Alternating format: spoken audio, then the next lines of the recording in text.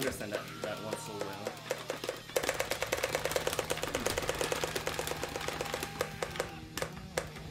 I think that's a bit minus one. Yay, there, we, there it is, the, the infamous minus one. The hardest part is doing the two quads, which are really hard on three fingers, and then after the second quad, no, actually not miss instantly. That is hard.